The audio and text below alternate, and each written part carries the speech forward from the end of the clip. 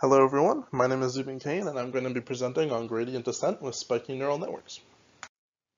So a spiky neural network is uh, similar to an analog neural network, except of how the output works. The output in a spiking neural network is spikes. Uh, a spiking output is normally considered zero, except when it's spiking. When it's spiking for an instant, you get a little impulse, boom, um, this means that the traditional analog conversion of the actual output in a given time is converted into an analog output of the rate around a given time. So the number of spikes per time step around a certain time period. Um, so you kind of keep that dimension. In addition, you have another dimension of spike timing, which is when a spike happens relative to another spike. It seems a little odd because they're both related because one is just kind of the average of the other, but you can get two different dimensions and so you can do some more interesting things with this. Uh, here you can see kind of an internal graphic. So in a spiking neuron, voltage accumulates in the middle there, an internal voltage, which is a function of the presynaptic current. Presynaptic meaning before the neuron, basically.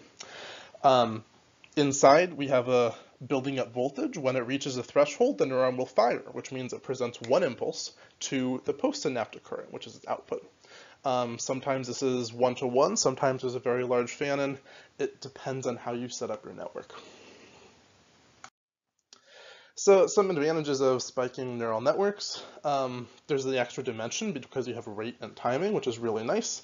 Um, they have a basis in neuroscience because brains of actual animals used spikes. They don't use analog um, systems. Now spikes can have weights to them, but they don't have an actual output. They have the rate based and the timing based. So that extra dimension is really helpful, especially when trying to mimic um, things like the human brain and they can run on low power specialty hardware, which is called neuromorphic hardware. It's designed specifically for spiking networks, and it's do orders of magnitude less power than traditional things like GPUs. Uh, disadvantages are trainability. It's really hard to train spiking neural nets um, because they're so complex and new and different, and we don't set them up in quite the same way that we set up analog neural nets, which is how we want to to train things. Um, and the biggest problem there is the derivative of spikes and impulses.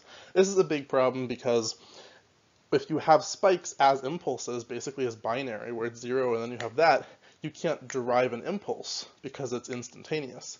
And if you want to do something like gradient descent, you need a gradient, you need to be able to take that derivative. So we're going to briefly look at the ideas presented in the papers that I read. So two of them had ideas to actually perform gradient descent by converting this kind of impulse function uh, for a spike into an analog output. One of them was via a sigmoid. So this is the function for a spike, and then it gets repeated down here based on a window.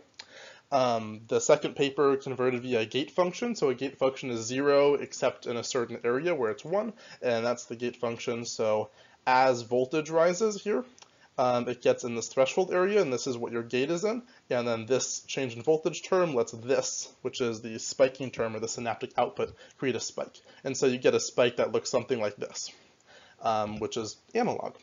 Um, there's also a third paper had different improvements to convert from an analog network, so a traditional network you've probably seen, to convert that into a spiking network to run it on different software. And all three of these papers were uh, very well done and very interesting, but the biggest kind of problem that they had was the, the level of complexity. It's a relatively new field, and after they're presenting their initial ideas, they just assume a very vast level of knowledge in terms of what's going on with everything. So it's very hard to try to re-implement them, but that's so I tried to implement a gradient descent function via a recurrent gate function. So recurrent meaning that the last hidden layer fed back into the first hidden layer, uh, for all of these nodes, and uh, gate function, so it was based on the second paper. Uh, we were trying to train an XOR over time, XOR function. Um, I was able to successfully uh, implement a recurrent gated spiking neural net from scratch. Um, and this was a, one of the biggest difficulties because there's so few tools out there to create different types of spiking neural networks for research. So a lot of people are doing it from scratch or modifying vast sections of code. Um, but I was able to create a recurrent SNN from scratch that worked successfully, but my biggest problem was in deriving a loss function because this entire thing is recurrent and it takes inputs over time and expects it to be saved until there's an output and coming up with a loss function for an XOR, something where you have two input spikes that are basically binary and then an output was a big challenge for me.